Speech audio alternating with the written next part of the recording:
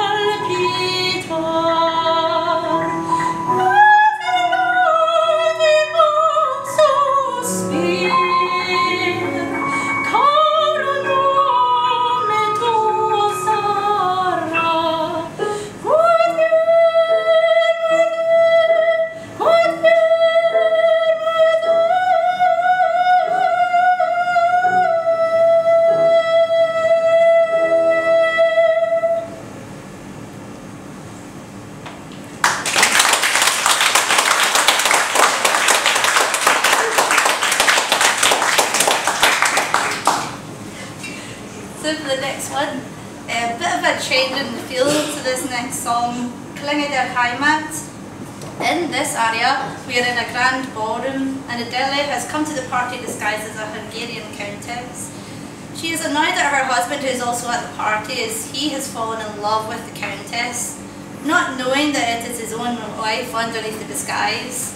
So to keep up this facade, she sings, blagging all the time, like faking it, for faking to try and be very Hungarian. Um, she's talking about her Hungarian fatherland. The green forest and the laughing fields, the land where she was so happy, and her soul is always there despite being far away. In the faster bit, she describes the Hungarian people as having fire and a lust for life, and it swells in their souls.